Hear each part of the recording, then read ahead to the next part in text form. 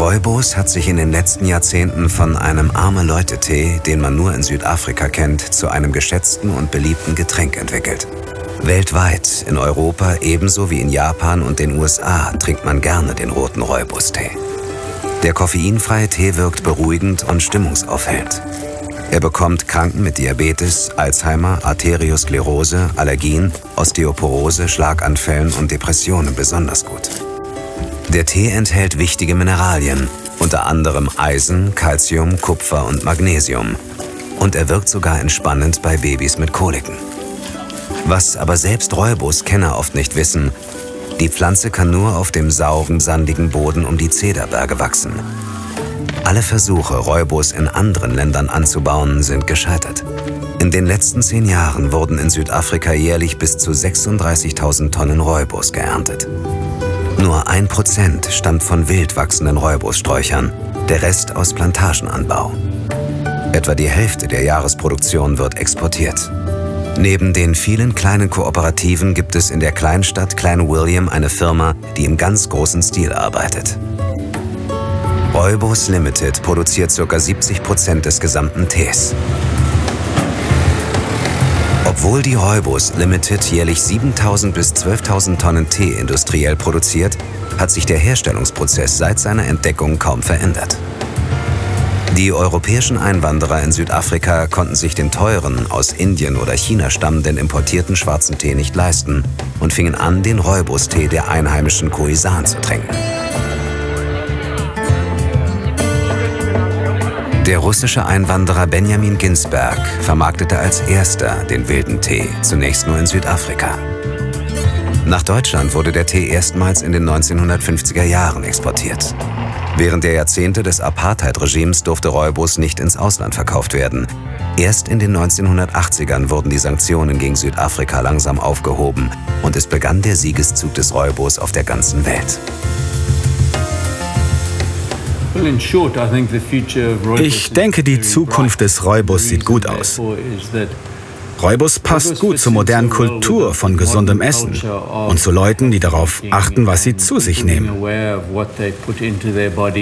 Räubus enthält absolut nichts Schädliches. Dazu enthält er eine Menge guter Inhaltsstoffe. Er enthält kein Koffein, ist ein Stresskiller, hilft sogar gegen Krebs, hat einen hohen Anteil an Polyphenolen. Alle diese Merkmale zusammen schaffen ein Produkt, das sehr gut zum modernen Lifestyle passt. Der Regen bzw. sein Fehlen ist ein wichtiges Thema für alle Menschen Südafrikas. Für die Räubus-Kleinbauern ist er überlebenswichtig. Die Ernte ist in den letzten Jahren dramatisch eingebrochen. Der Klimawandel ist hier schon lange keine Theorie mehr, sondern harte Realität des Alltags. Der südafrikanische Landwirtschaftsberater Noel Oetle lebt und arbeitet seit mehr als 20 Jahren mit den Räubus-Kleinbauern der Hayfeld-Kooperative in Said Bockefeld. Diese Dürren treffen die Kleinbauern besonders hart, denn sie stehen aus historischen Gründen in der Hierarchie der Räubusproduktion an unterster Stelle. Sie haben die trockensten Böden in der Räubersgegend. Wenn es dann endlich regnet, bekommen sie in der winterlichen Regenzeit manchmal nur 50 mm Niederschlag, was wirklich nicht genug ist, um den Boden zu bearbeiten. Wilder Räubus kommt ohne den Winterregen nicht aus.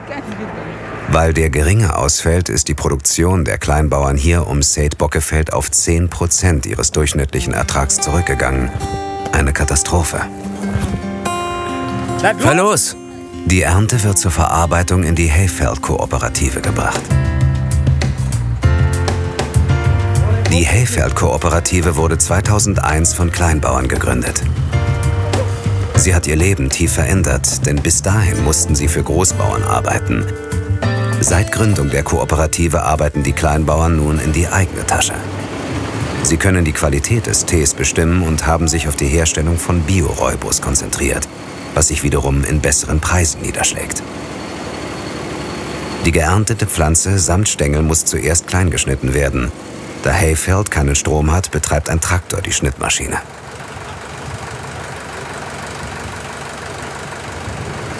Mans Fortain ist Mentorfarmer und einer der wichtigsten Mitarbeiter der Kooperative. Dank seiner langjährigen Erfahrung überprüft Mans jeden Schritt der Herstellung, um die bestmögliche Qualität des Räubus zu sichern. Das Schönste für mich ist, wenn ich sehe, dass eine gute Ernte reinkommt. Das finde ich großartig.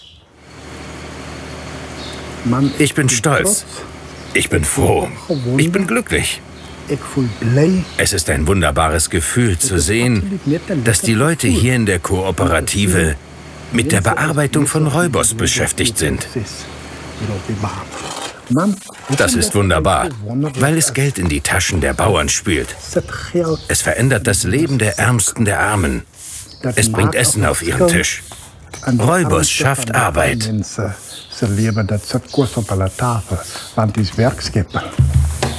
Der geschnittene Tee durchläuft die gleichen Herstellungsschritte wie seit Generationen. Der zunächst grünbräunliche Tee wird bewässert, was den Fermentierungsprozess in Gang setzt. Danach werden die Pflanzenteile mechanisch zerdrückt.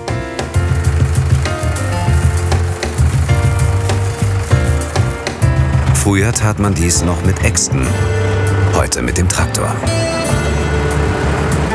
So kann der Zellsaft austreten und zusammen mit dem Sauerstoff beginnt die Fermentation. Eine chemische Reaktion, bei der sich die typisch rote Färbung und das beliebte sanfte süßliche Aroma entwickelt. Der Tee fermentiert meistens über Nacht.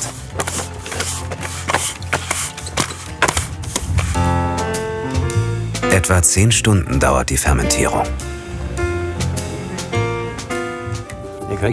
Ich überprüfe, ob Geruch und Farbe stimmen. Daran hängt die Qualität des Tees.